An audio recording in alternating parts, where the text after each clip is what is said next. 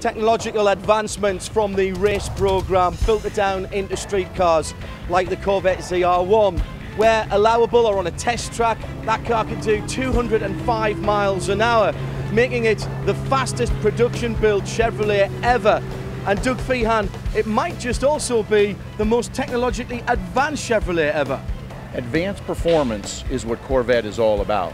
And for 2012 we've upped our game the ZR1 with the new PDE performance package features Michelin Pilot Sport Cup zero pressure tires and lightweight cup wheels. And what about traction control?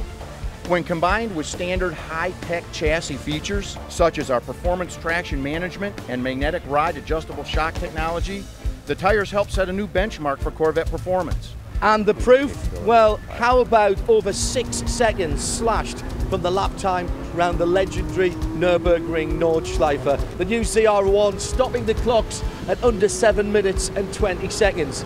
If you'd like to see that lap in full, go to YouTube forward slash Chevrolet, where you can also learn all about technology transfer from the track to the street.